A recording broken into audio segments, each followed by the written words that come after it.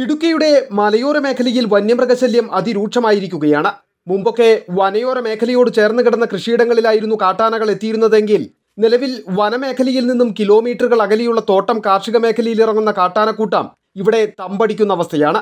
കഴിഞ്ഞ നാല് ദിവസമായി ഒൻപതോളം വരുന്ന കാട്ടാനക്കൂട്ടം രാജകുമാരി പഞ്ചായത്തിലെ ബി ഡിവിഷൻ അരമനപ്പാറ ഖജനാപ്പാറ തുടങ്ങിയ പ്രദേശങ്ങളിലെ ഏക്കർ കണക്കിന് കൃഷിയാണ് നശിപ്പിച്ചത്. നാട്ടുകാർ മന്ത്രിയെ ഉൾപ്പെടെ പരാതി വിളിച്ചറിയിച്ചതോടെയാണ് വനംവകുപ്പെത്തി കാട്ടാനകളെ തുരത്തിയത്. ഒരു പത്തിരണ്ടായിരം വീടുകളും അതിലെ ആളുകളും മൊത്തമായിട്ട് ഭയങ്കരമായിട്ട് ഭീഷണിയാണ്.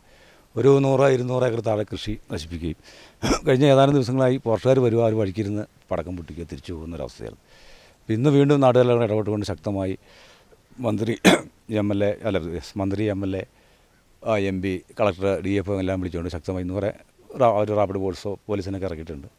ഇത് നിരന്തരമായിട്ട് ഇനി വരുന്ന വരും സമയങ്ങളിൽ ഭയങ്കരമായിട്ട് രൂക്ഷമാണ് പോകുന്നത്. അതിന് ശക്തമായ നടപടി എടുക്കാൻ വേണ്ടി ഈ ദിവാസികൾക്ക് വേണ്ടി താഴ്മയായിട്ട് അപേക്ഷിക്കുകയാണ്.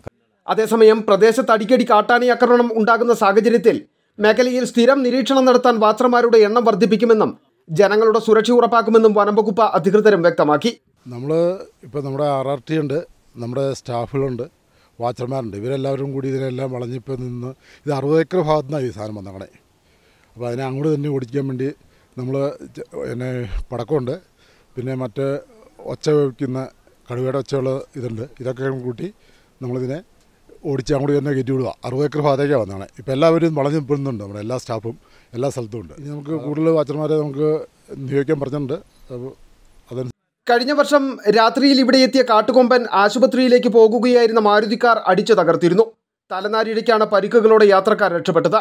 അതുകൊണ്ട് തന്നെ പ്രദേശത്ത് അടിക്കടി ഉണ്ടാകുന്ന കാട്ടാന ശല്യത്തിന് ശാശ്വത പരിഹാരം കാണാൻ സർക്കാർ തലത്തിൽ ഇടപെടൽ വേണമെന്നാണ് കർഷകരുടെ ആവശ്യം. സന്ദീപ് രാജാക്കാട് റിപ്പോർട്ടർ ഇടുക്കി.